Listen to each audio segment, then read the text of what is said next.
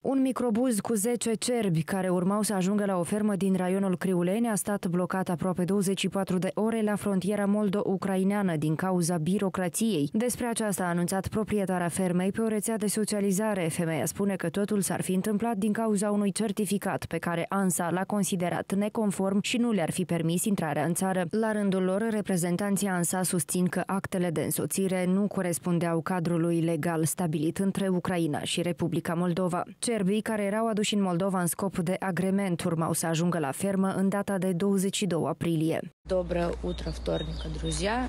Мы находимся на таможне Крива, таможня Молдовы с Украиной. В бусе находятся, находятся живые животные. Это наши? Ой, какие хорошенькие. Мы получили вот такой вот сертификат, который позволяет нам на нашей ферме э, держать этих животных. Дальше. Мы получили разрешение на ввоз с Министерства окружающей среды на то, что мы можем импортировать этих животных. Все упирается вот в этот документ, который нам выдала украинская страна. Это э, ветеринарный, э, санитарно-ветеринарный сертификат, указывающий все анализы и то, что животные здоровые, он интернациональный. Э, АНСА не разрешает въехать в страну, потому что им нужен какой-то другой сертификат. Femeia a mai povestit că împreună cu soțul său au dormit în microbuzul în care se aflau cerbii la punctul de trecere al frontierei Крива-Мамалига. Обратно мы уже оленей не можем вести, и в страну свою домой мы тоже не можем заехать.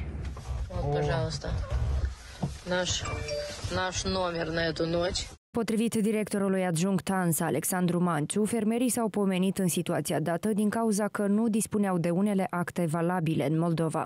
S-a constatat că, de fapt, certificatul sanitar veterinar care atesta respectarea cerințelor sanitar veterinare era altul decât cel care a fost parafat anterior între Agenția Națională pentru Siguranța Alimentelor și Serviciul Veterinar din Ucraina. Și datele de identificare reflectate în acestea nu corespundeau uh, cu animalele de fapt. Toți operatorii care uh, efectuează operațiuni de import, uh, fie produse alimentare, fie cu animale vii, au obligativitatea de a fi înregistrate în acest sistem informațional.